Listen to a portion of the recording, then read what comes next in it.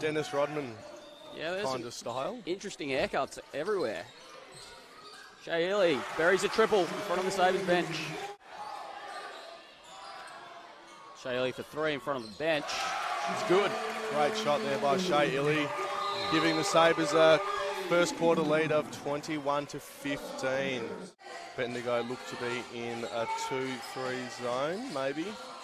Corner three by Ili. Good penetration. Kick out. That's two in a row now for Ili. Drives the closeout. Fake. The lovely layup.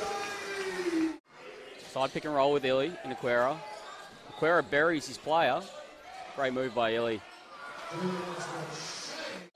He does, he does come across like a left-hand dominant player. Ili for three is good. Very nice. That's Aquera, tough jumper, but gets it to go. second three-pointer of the game for Aquera. Horns look. And Shea Ili with the pull up is good. For his fifth three of the game, five of ten. Rosendale knifing through, gets blocked by Ili, but Didi picks up the crumbs. Penetration down the lane, smooth finish. Very nice finish there by Shea Ili.